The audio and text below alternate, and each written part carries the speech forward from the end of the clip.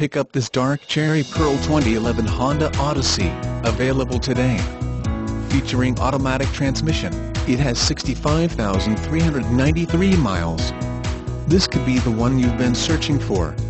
Contact us and get behind the wheel today.